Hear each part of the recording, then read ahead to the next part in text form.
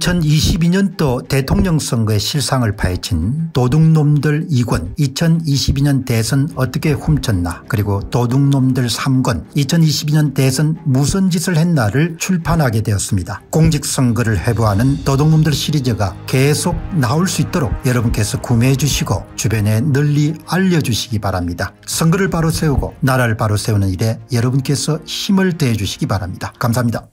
안녕하십니까 공병호입니다. 파주을에 투표지 21장 실종 사건이 지금 파주경찰서에 수사 중이지 않습니까 많은 분들은 이 사건에 대해서 상당히 이제 기대감을 걸고 있지만 그동안 이제 선거관리위원회가 해온 관행을 미뤄보게 되면은 이번도 참 여의치 않을 것이다 그렇게 생각합니다.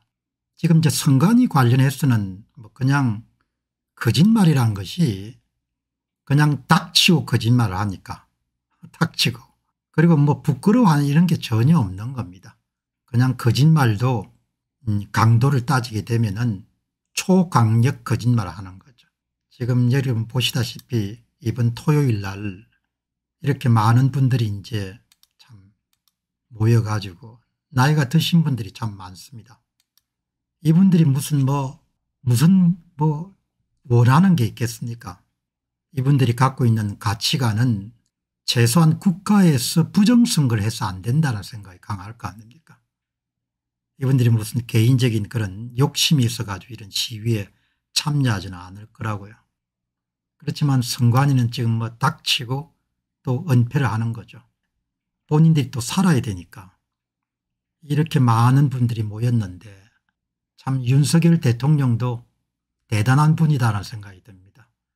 대통령이 됐으면 본인 입으로 무슨 자유시장경제니 자유민주주의니 이런 말씀을 많이 하지 않습니까?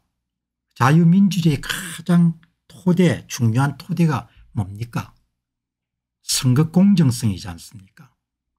공정선거를 통해 가지고 선출직 공직자에 대한 정당성을 부여하는 것이 자유민주주의의 시작이자 끝이지 않습니까 그 문제가 지금 심각하게 훼손돼 가지고 이렇게 국민들이 나서 가지고 고함을 치고 애간장을 태우는데 대통령이란 분이 한 말씀도 안 하고 그렇게 넘어가는 거가 그냥 그렇게 넘어갈 수가 있겠습니까?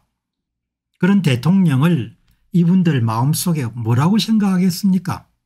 그런 대통령을 보고 참 잘하신다 이렇게 생각하겠습니까? 그렇지는 않겠죠.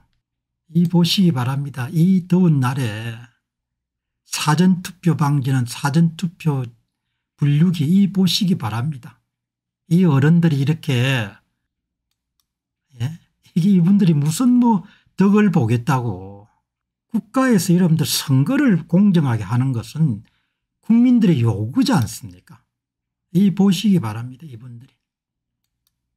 이렇게 국민들이 아우성을 치는데 민주주의 꽂힌 정직한 선거를 묻어버린 사유로 부정선거 경찰은 적각 수사라 틀린 말이 어디 있습니까? 민주주의 꽂힌 정직한 선거를 묻어버린 사유로 부정선거 경찰은 직접 수사라. 부정선거 은폐하는 파주경찰서 수사라. 다들 해도 해도.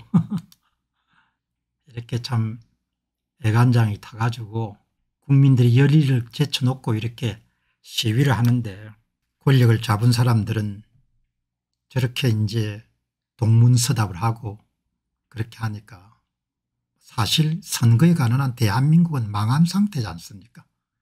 한 번이 아니고 일곱 번이나 부정선거를 해도 수사다운 수사 한 번 하지 않고 투표록에 기록된 투표지 21장이 실종이 돼 가지고 다 통을 갈아 가지고 법원에 제출했기 때문에 실종된 거 아닙니까 하늘이 알고 땅이 아는 사실을 다 이렇게 은폐하려고 하니까 이 강효식 님이 파주경찰서가 부정선거 진실을 밝히기 위해서 선관위를 철저히 수사할 것인지에 대해서는 의심을 많이 했었다. 당연하죠.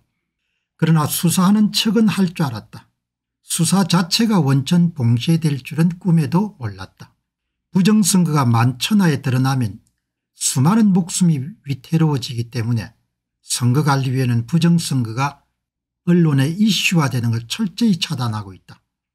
파주경찰서가 선관위를 수사하는 것 자체가 언론에 보도되는 것을 극히 꺼리는 것이다. 3년도 훨씬 지난 4.15 총선 문제를 지금까지 해결하지 못하고 있다는 사실을 국민들이 알게 되는 것이 선관위에게는 크게 부담이 되는 것이다. 그래서 부랴부랴 파주경찰서를 찾아와서 투표록을 잘못 기록한 것이다. 사기꾼들이 어디 있습니까 투표록은 공적 문건이지 않습니까 원래부터 투표관리관 도장에 찍히지 않은 투표지는 없었다고 말하라고 사주하고 협박했다. 그리고 수사 자체를 할 필요가 없고 만약에 그래도 하려고 한다면 바로 파주경찰서는 공중분해된다고 공갈을 친 것이다. 노태학을 비롯한 중앙선관위 위원들은 아침마다 이렇게 각오를 다지는 것 같다. 아무리 부정선거의 증거가 쏟아져 나와도 어떤 형태의 수사도 절대로 받을 수 없다. 받으면 안 된다. 모든 수단과 방법을 동원해서 철저히 차단해야 된다. 수사를 받는 날엔 우리 모두는 끝장난다. 절대로 그렇게는 안 된다. 진실이 드러나는 날이 서서히 다가오고 있다.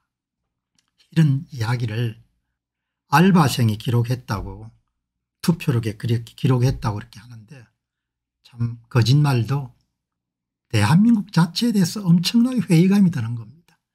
이렇게 나라가 썩어 가지고 도대체 권력을 잡은 사람들은 뭐하는 사람입니까 자유를 입으로 외치면 뭐하죠 법치를 입으로 외치면 뭐합니까 그렇게 해서는 안 되는 거죠. 사람이 저마다 맡은 바 도리나 역할이 있는 거 아닙니까 대통령이 되었으면 국민들이 이렇게 나서 가지고 열리를 제쳐놓고 이렇게 여러분들 시위를 하고 진실을 규명해 달라고 하는데 입을 싹 닦아 앞날의 영광이 무궁하겠습니까 나는 굉장히 회의적으로 봅니다. 나라가 도덕 윤리 배운 놈들이 더 하는 겁니다. 이렇게 배운 사람들이 더 이렇게 나라를 망치는데 그렇게 노력을 하니까 뭐 이런 이야기하면 대통령 열혈편들은 싫어하겠지만 내가 항상 이야기하지만 사람에게 맹종하지 말고 뭔가 옳고 그런 부분을 명확히 가려야 되지 않겠냐 이야기죠. 이렇게 해가지고 다음에 자식들하고 부정선거가 완전히 고착화된 나라에 어떻게 살겠습니까 지금 여기 오신 대부분 어른들도 지금 노후가 30년 이렇게 이상 되기 때문에 당대 경험을 다 하겠죠. 예, 우리가 그때 그 문제를 해결하지 못했기 때문에 이렇게 어렵게 되고 말았다. 어떤 거짓말 선관위에 닥치고 거짓말이란 건 계속되기 때문에 만만치 않은 일이지만 이번에 파주월 재검표 현장의 21장에 당일 투표지가 실종된 사건은 바로 전산 조작을 통해 가지고 후보별 득표수를 다 새로 만들어서 국민들에게 발표했기 때문에 파주 선관위 측이 보관하고 있던 투표함을 그대로 법원에 제출할 수 없었고 그래서 날밤을 새워 가지고 투표함 속에 들어있던 투표자들이 던진 투표지를 다 소각 내지 파쇄하고 새로 인쇄한 투표지를 투입하는 과정에서 원래 있어야 될 21장의 시, 실종된 투표지가 없어진 거죠. 그러니까 이렇게 다 이제 증거들이 다 밝혀지게 된 겁니다. 어떻든 마지막 갈 때까지 한번 가봅시다.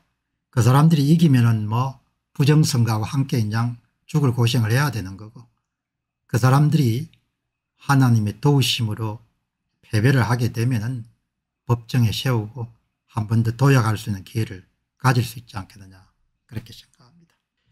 자 여러분 이렇게 다 밝혀졌지 않습니까?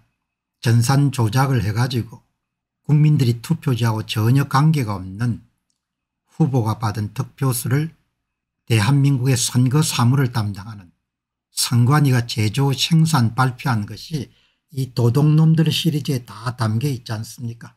뭐 이제 사전투표 조작설 정도가 아니고 도둑놈들을 도둑질을 선관위가 한 거 아닙니까 선관위 주도 선거범죄라고 내가 이야기를 하지 않습니까 선관위가 주도한 사전투표 득표수 조작인 거죠.